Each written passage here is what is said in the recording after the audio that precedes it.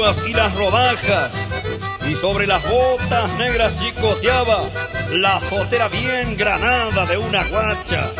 Un paño negro de nutria con adorno en el cintillo y ajustando en el pañuelo le relumbraba en el cuello seis ramales de un anillo. Por su lujo en el vestir, de tape llegó a Caté. Él nunca buscaba lado que pa' un gente engarronado no hay derecho ni reveja